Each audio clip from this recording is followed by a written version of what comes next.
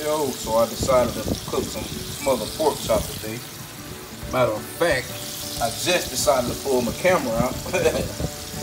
no, so, but what it is, man, is uh, smothered pork chop with yellow rice. It's already done over there.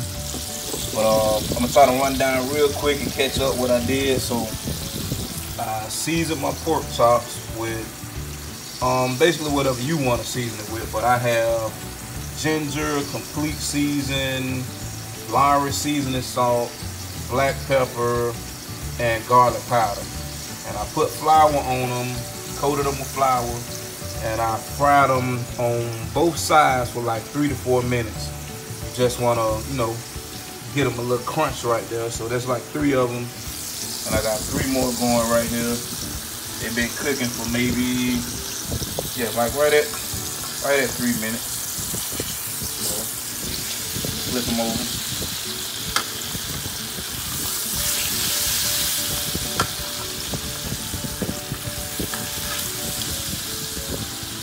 on both sides. I put just enough cooking oil to cover the bottom of the pan. So you don't really need that much cooking oil at all. And you're not trying to cook these all the way through. Just want to get a little crunch on both sides. Alright, we'll be back. So while that's frying, I chopped up my green onions, my white onions, my red onions. I got my green bell peppers, my yellow bell peppers, my orange bell peppers. But um, the orange and the yellow, I mean, that's totally up to you. I just like a lot of vegetables, a lot of taste in mine. And what we're gonna do, once we take the pork chops out, we're gonna put these in there and saute them for about three minutes. I'm also gonna put some thyme inside. So I got the thyme, but the thyme is gonna be out. Right here is my chicken broth. What I did, what it is, I had uh, my chicken bouillon, you know, one of those cubes. One of these, you know, the cubes that come inside. And that's two cups of water. And I also got some browning just to give it some color, which is that right there. I know I'm, I'm playing catch up with y'all, so hopefully y'all don't complain too much about this video. And I put like a, a top full of this in here. I boiled it. So that's a chicken broth and some browning in it. Alright? So my pork chops are pretty much done frying. So I'm gonna take those out.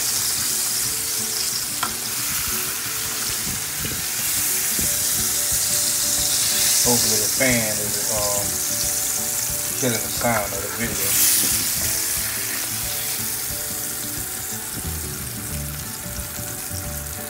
So that's six pieces of pork chop.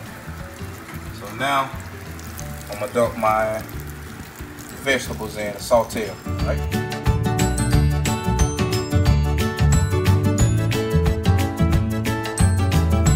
Alright, so I got my vegetables in here sauteing right now. Wish I could smell this, man. This thing smells good. Got my red onions, my green onions or scallions, my white onions, my yellow bell peppers, my red bell peppers, my green bell peppers, and um, yeah, saute those for like three minutes, set them aside, get a plate set down aside, then we're gonna put our pork chop back in and we're gonna go from there. Alright?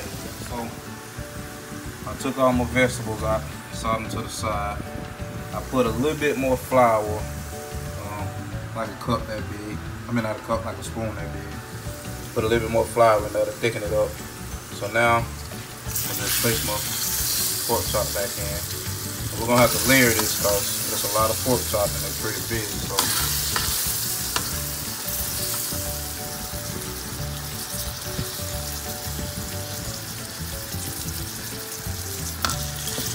Only thing I'm missing is some garlic. Should have had some garlic on top of it. Other than that, this thing gonna be good, boy. nope.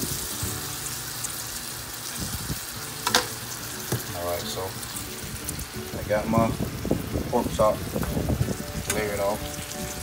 I turn my stove down because we got we're gonna let this simmer. So my stove is down. And now put our vegetables on top. Spread them out. Try to do this in one hand, y'all, so that way. Alright. Try to get those spread out. Now, I'm gonna pour our chicken broth and our browning on top.